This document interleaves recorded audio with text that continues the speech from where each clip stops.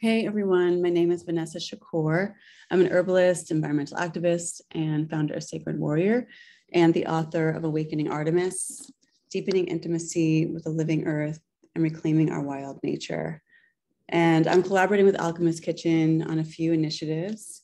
One is an online course based on the book, which will launch in September.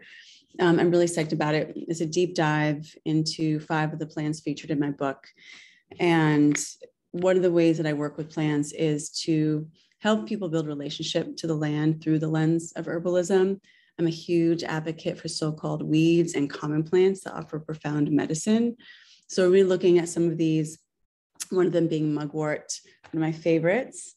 And the way that the book is written, each chapter, which weaves together folklore, memoir, I talk about my own journey of healing, um, some social critique is really framed by a particular plant and their medicine. So each chapter is devoted to a different plant.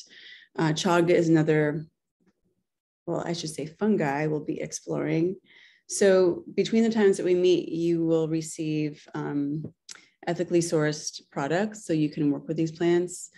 Uh, we'll meet every other week doing some journaling, just exploring all the ways that we can work with plants as allies in our journey of healing which has been so just deeply healing and valuable for me. So I would love for you to join us. And we're actually offering a giveaway that includes the same products and the book. So check out the, that on the Alchemist Kitchen social media too. Um, and I hope to see you soon.